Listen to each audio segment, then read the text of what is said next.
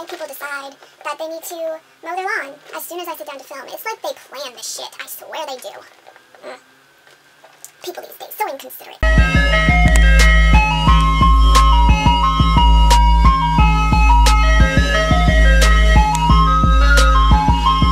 Hey guys, it's Jay and today I am here with a review for Sophie Kinsella's Finding Audrey. I ended up giving this book a 4 out of 5 stars on Goodreads, so without further ado, let us get started!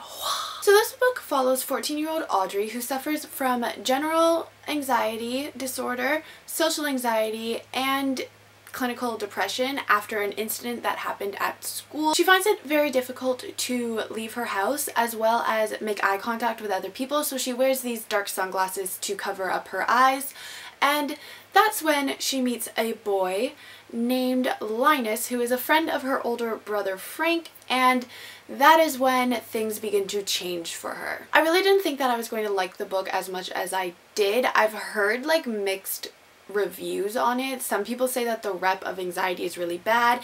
Other people say the rep of anxiety is really good. I personally don't have anxiety, so I cannot tell you whether or not it was good or not, but I really liked the book. I gave it a 4 out of 5 on Goodreads. It was really cute, really fluffy, and not to mention really surprisingly funny. I didn't think that I would laugh out loud at this book, but a lot of the times the things that Audrey was saying or like her inner monologue and the subplot between Frank and Audrey's mom was just hilarious all the characters were so well done. The book deals with very hard topics like bullying and obviously anxiety and mental illness but it does it in a way that mixes it with humor which makes it so much lighter and easier to read. I think that the writing style flowed really well and I really liked the inclusion of the film transcripts into the book. It was like a nice break from the difficult topics. I really liked how this wasn't like a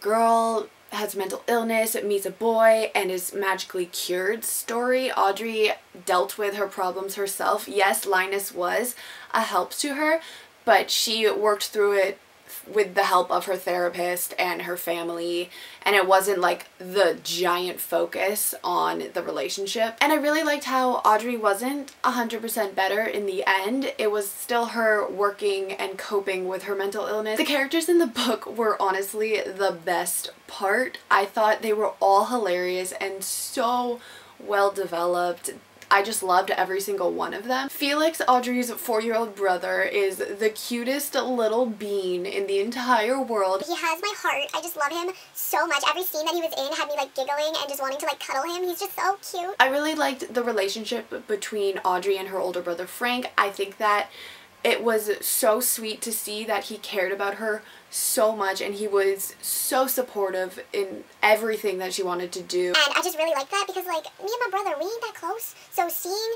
a relationship like that it was kind of like, I want that. I want that real bad. The side story between Frank and their mother was such a great comic relief. I thought it was hilarious. Every time they were in a scene together and Audrey's mom would just like flip out over his video gaming. It was so funny. Like just the way she would react and you could just like hear her screaming in your head and it was just, ugh, it was so good. I also really did like Linus and Audrey together. I think that their relationship worked really well and I liked how he was able to push her just enough to get her to like her breaking point but like not her breaking point if that makes sense and he really did help her with her mental illness and getting through it but it wasn't like the huge major plot point in the book which I thought was really nice. I did have two major issues with the book which is why I dropped a star.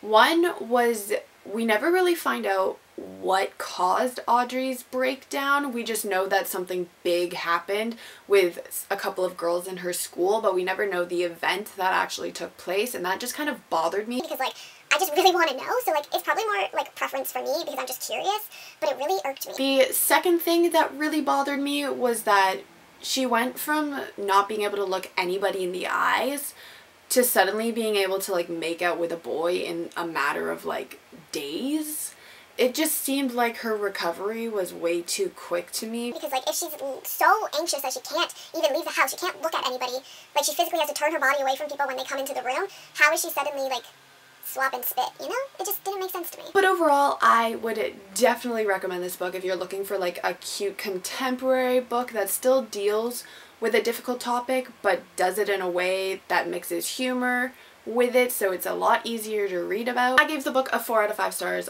I think everybody should read it. I think it's cute. I think it's fun.